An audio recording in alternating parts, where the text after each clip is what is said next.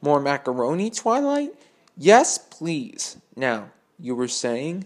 It just seems to me that the point of having all those diverse ponies at the end isn't a telling statement.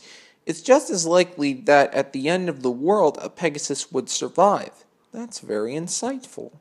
Thank you, and it doesn't take away from I have no snout yet. I must winning being a great book, of course. You know that Offer also wrote plays as well. Really? I don't know that.